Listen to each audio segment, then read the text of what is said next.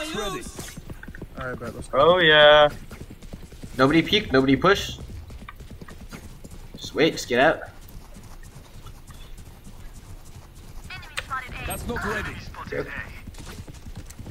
Joke's over. My party level is lower than recommended. Oh no.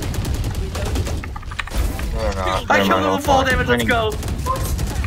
They're two, two in heaven, two in heaven. Both in heaven. Ow! I ulted the Cypher out of heaven and I killed him by 15 damage.